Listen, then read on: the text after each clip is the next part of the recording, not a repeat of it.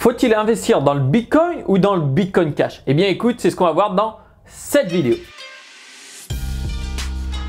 Salut à toi, futur entier, futur entière, c'est Rousseau. Et cette chaîne a la portée d'augmenter ton niveau de vie afin que tu puisses passer plus de temps sur ce que tu aimes vraiment. Alors peut-être que tu as déjà de l'expérience dans le milieu des crypto-monnaies ou peut-être que tu viens d'arriver. Et du coup, tu te demandes un petit peu bah, qu'est-ce que tu dois acheter? Du Bitcoin ou du Bitcoin Cash? Alors déjà, pour rappeler un petit peu les faits historiques, le Bitcoin a été créé en 2009. Enfin, il a été lancé en 2009 et ça a été la première crypto-monnaie décentralisée.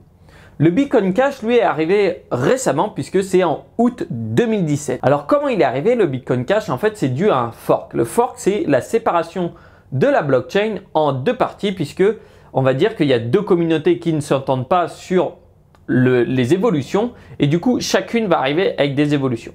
Donc déjà, c'est ça qu'il faut comprendre, c'est-à-dire que le Bitcoin et le Bitcoin Cash, ils partagent les mêmes racines et fonctionnent à 99%, on va dire, de la même façon. Après, la grande différence entre les deux, eh bien, c'est le Bitcoin Cash va avoir des blocs plus gros, de 32 MO contre 1 MO sur le Bitcoin. Quelle est la différence Tu vas me dire, eh bien, du coup, le Bitcoin Cash, il peut valider plus de transactions en même temps par rapport au Bitcoin. C'est-à-dire qu'il a plus de transactions et donc une plus grande rapidité, ce qui donne moins de frais. Mais attention, il y a une chose à savoir, c'est que le Bitcoin Cash n'est pas le nouveau Bitcoin et c'est pas le Bitcoin originel. Ça n'a rien à voir.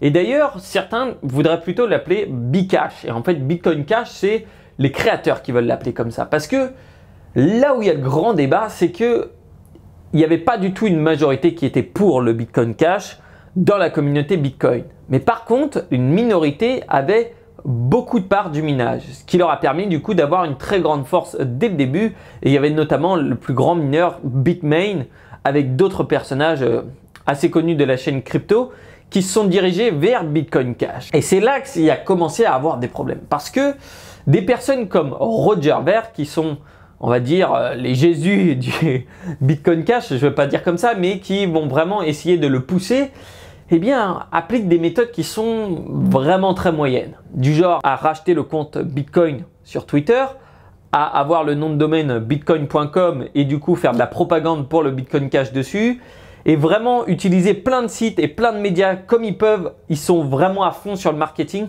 pour faire croire que Bitcoin Cash, c'est le nouveau Bitcoin, mais c'est pas du tout le cas. Et c'est vraiment ce qui m'énerve là-dessus. Mais le but, c'est pas de savoir ce qui m'énerve ou pas, puisque c'est pas comme ça qu'on doit investir.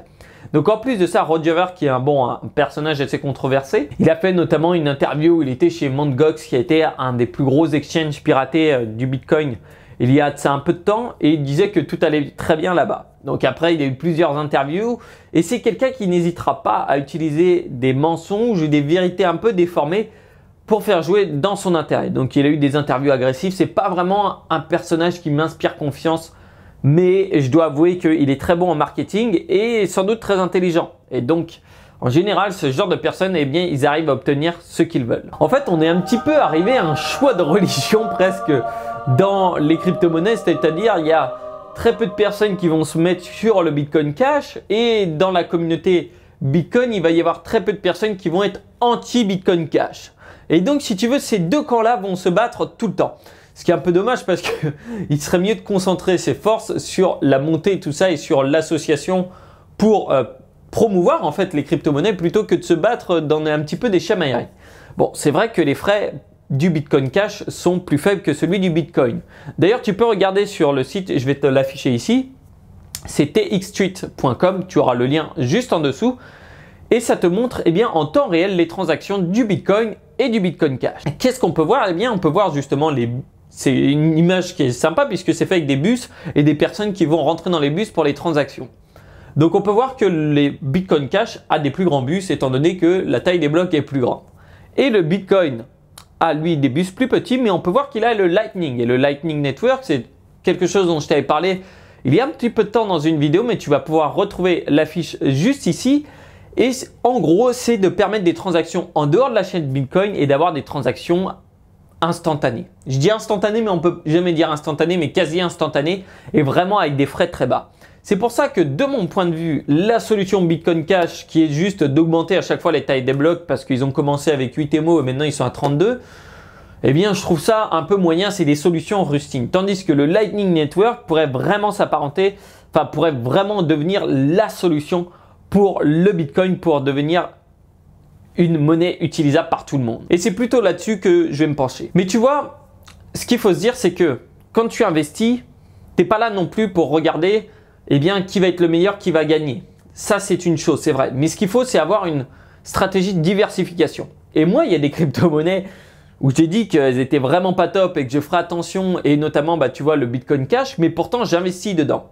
Pourquoi j'investis dedans? Parce que il n'y a pas que mon opinion qui compte sur le marché, sinon ce serait un petit peu trop facile, mais il faut savoir diversifier et savoir répartir son, risque, pardon, mais aussi se diriger vers des opportunités qu'on n'a peut-être pas vues. Parce que je me considère pas du tout comme le dieu crypto-monnaie ou expert de je ne sais quoi, étant donné que moi je veux toujours apprendre.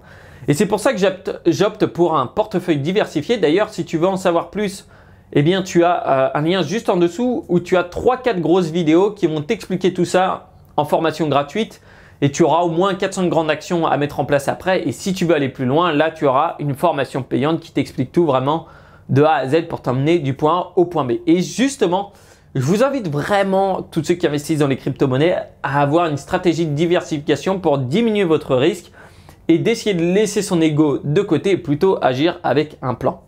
Normalement, c'est ce qui marche le mieux selon toutes les études. Après, il y aura toujours des personnes qui essaieront de faire le contraire et je les remercie beaucoup puisque ces personnes-là, eh bien, elles nous permettent à nous, les investisseurs qui diversifient, eh bien, de gagner plus.